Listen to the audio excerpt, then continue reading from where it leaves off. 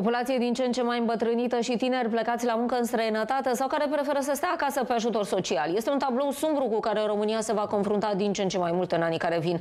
Analiza care aparține economistului Ionus Dumitru mai arată că populația României se reduce cu aproximativ un milion de locuitori la fiecare 10 ani. Cel mai afectat sector al populației este cel activ, crede economistul. În plus, decreței încep să iasă și ei la pensie. Și comentăm pe această temă cu Raluca Dumitra, director de marketing al unei platforme de recrutare. Bun găsit! Bună seara, mulțumesc pentru invitație. Ce va însemna acest lucru pentru piața muncii și uh, automat și pentru pensiile viitoare, pentru că au legătură, evident?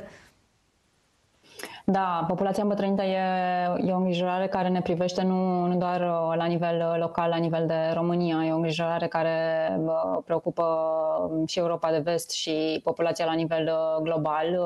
Cu toții ne confruntăm cu o populație îmbătrânită. Din păcate, noi ne confruntăm și cu acest miraj al vestului, care în ultimii ani adevărat că s-a mai potolit, dar cu siguranță vestul va redeveni la fel de atractiv din perspectiva salariilor pentru români, deci probabil că vom observa iar că va crește rata migrației. Um, concret, asta va duce la un număr mai mic de salariați în economie, uh, care vor fi, uh, pentru că vor fi mai puțini, uh, vor fi în poziția de a negocia salarii mai mari, ceea ce va, va face ca businessurile să se confrunte cu o presiune atât prin prisma salariilor pe care vor trebui să le plătească și care vor fi mai mari și pe de altă parte și pentru a atrage oamenii în uh, companie. Pe de altă parte, va fi iar o presiune la nivel de uh, tool de tehnologii pe care companiile vor trebui să le, uh, să le achiziționeze pentru a eficientiza uh, productivitatea uh, ca urmare a uh, scăderii uh, forței de muncă.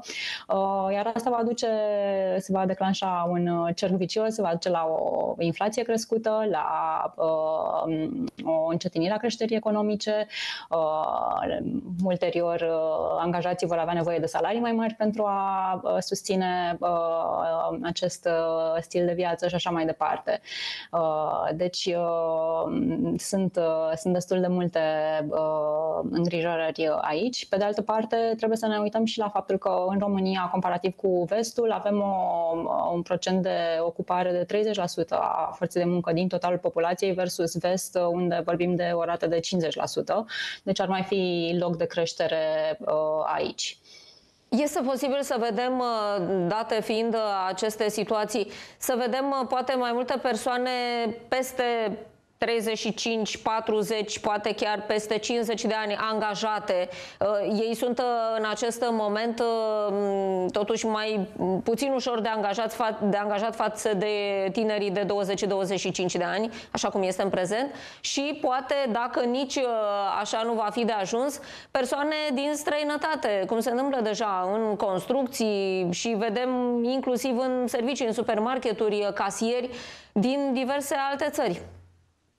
Cu siguranță vorbim de tot felul de soluții pe care angajatorii trebuie să le găsească de la importul de forță de muncă care se întâmplă în multe domenii, construcții, Horeca, retail și nu numai zona de servicii. Uh, plus, da, probabil că vom vedea tot mai mulți angajatori dispuși să acorde uh, mai multe șanse angajaților care în acest moment e adevărat că nu sunt cei mai privilegiați, uh, nu sunt dezirabili pentru angajatori, dar da, va trebui să, să găsim soluții alternative pentru a compensa uh, acest deficit care, care va apărea în, în câțiva ani, mai ales că și de partea cealaltă investițiile în tot ce înseamnă automatizări nu sunt foarte la, la îndemână, nu sunt necesite și acolo investiții destul de mari. Deci probabil că va trebui să, să existe un, uh, un cumul, uh, un mix de uh, soluții alternative pentru a compensa pe fiecare palier așa cum, cum se poate deficitul care, care se va crea. Mulțumim foarte mult pentru această analiză. Raluca Dumitru a fost în legătură directă cu noi. Mergem mai departe.